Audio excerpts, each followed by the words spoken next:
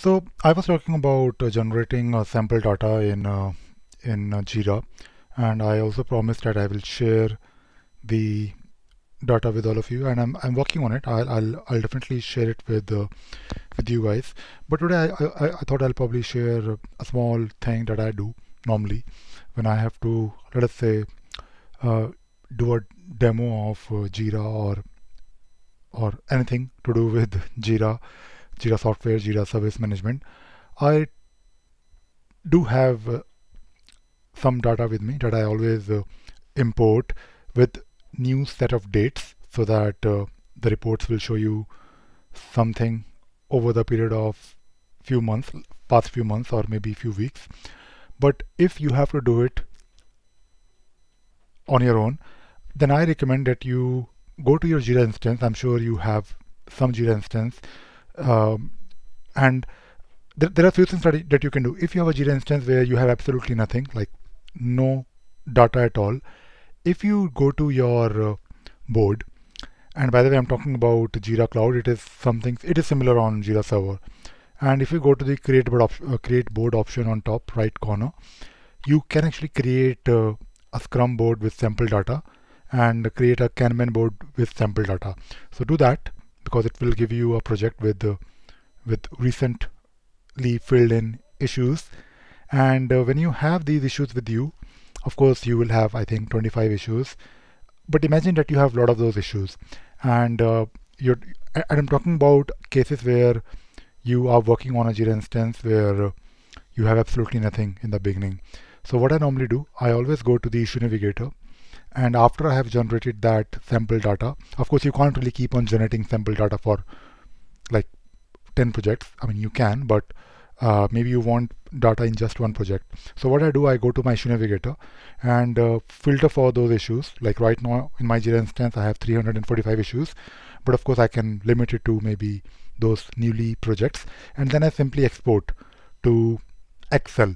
And when I export it to Excel and, and I'm doing it for cases when you want uh, I will definitely share the CSV field CSV file with common fields but when you generate this Excel sheet from your instance it will have uh, let us say your user like reporter assignee and uh, the fields that are relevant to your instance. It will this particular file will have a lot of fields in fact all the fields uh, so you, you can select all fields and it will give you an Excel sheet. Then and then of course you can work on the Excel sheet to uh, a CSV file that that you can use to maybe uh, uh, open it in uh, Excel and then work on the Excel. So what I recommend if you if you're doing something similar, always try to keep summary because of course you need summary. Issue type because you need issue, issue type.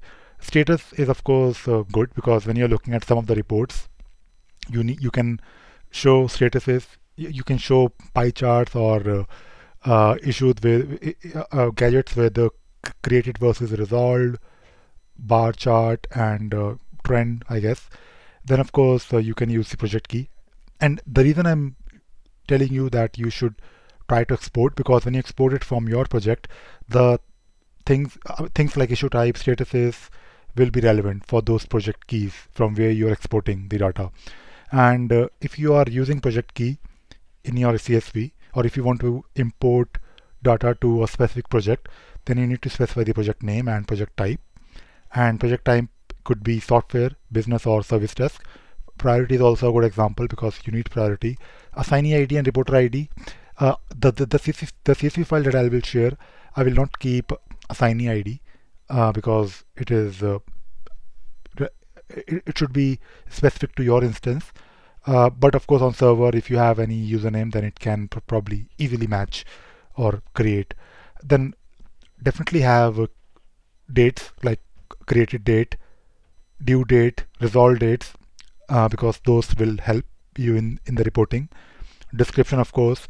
And if you're talking about, uh, let us say Jira Service Management, then you can use uh, organization field uh, and uh, maybe maybe any other field. So bare minimum, at least have those mandatory fields like summary, issue type, and uh, dates, along with if possible statuses and uh, maybe few few projects and when you when you import it in your uh, in your Jira instance of course uh, you can have uh, those reports that will uh, show you trend over the period of time and that really is uh, helpful when you are maybe demo or doing a demo of Jira or maybe you're doing some testing but of course the the CSV that, that I'm working on I'm trying to think of a way where not only you can import data using CSV, which you can, I'm sure, but I'll along with the CSV file, I'll also share one uh,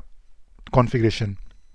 So uh, configuration file, or maybe a couple of configuration files, so that you can uh, so you don't so that you don't have to map because when you use the configuration file, it will let you it will basically do the mapping for you, and that really uh, saves a lot of time. So I'm working on this uh, this side project these days, where uh, I will share things so that you can uh, you can easily let us say create uh, maybe projects on uh, on your cloud inst instance of Jira and also import it with some data some some data that can help you with the, with some decent reporting but at the same time apart from using the CSV import method I am also thinking of uh, in fact I do that already I also have a few scripts that can actually generate this data.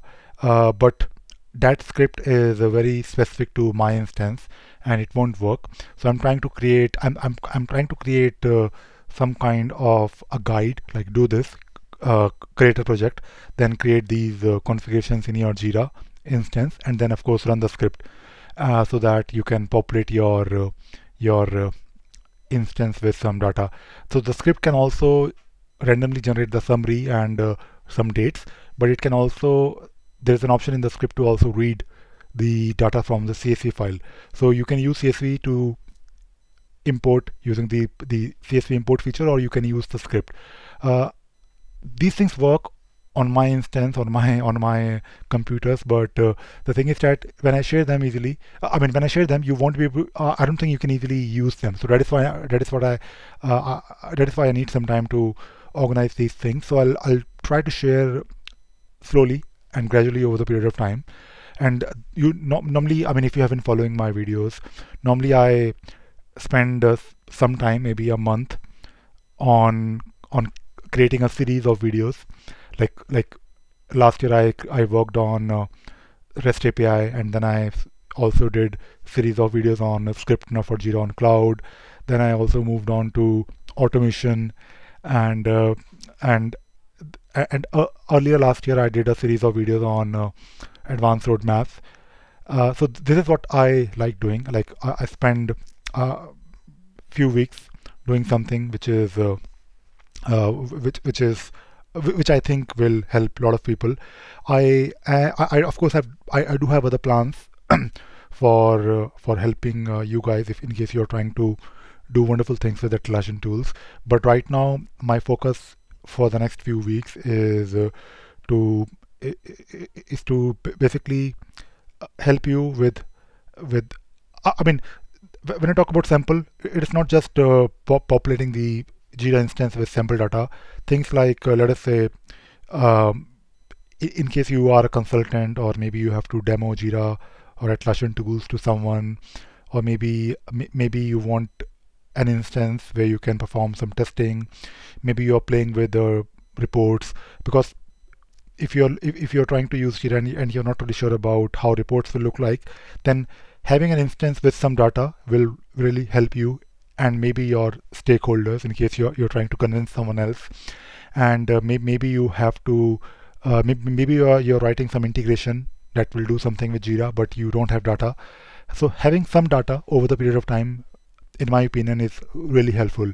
Uh, for for for for doing, of course, those things that I just mentioned, but also I believe uh, uh, in uh, learning the product. So let us say if you are learning Jira, maybe you are thinking of uh, getting certified, and of course you can sign up for a cloud instance. But when you don't have data in place, it is a bit difficult. So apart from data, I'm also thinking of ways so that you can also have uh, configurations. Things are a bit limited on cloud. When you're on cloud, you can't just run a script and it will have each and everything because REST API is limited. You can do things, but not everything. On server, of course, uh, with the help of Java APIs, you can actually transfer the configurations. Or uh, I run scripts. It, I have some some scripts that can uh, create issue types or uh, maybe uh, copy a workflow or create a project and do those things, which is always handy. But on on cloud, you need to rely on the the REST API. So I'm also thinking of ways to uh, thinking of ways by which I can efficiently uh, share. I, I, can share those things with you so that you can efficiently clone the clone the environment, uh, or at least have some configurations that can accept that data. So that is what I thought I'll probably share with you. So today I of course wanted to give you some tips around uh, uh, generating your own data in case you are because a couple of weeks back my one of my friends was asking me uh, about sample data and uh, I thought I'll probably uh, share with you as well like how, how you can do it yourself. This is, this is uh, what I do. I use Jira sample projects, a couple of them, and then I export everything in CSV and I cop copy and paste the rows so if I have like roughly 1000 rows, 1000 entries in the CSV, I just change the dates. In Excel sheet, you can easily change the dates of uh, of maybe those created or uh, or due dates, for example, columns. And then of course you can import everything back to Jira with of course uh, a, a file, configuration file for doing the mapping. So that is all I wanted to talk about in this video. I hope you enjoyed watching this video and you also learned something new today. Thank you very much.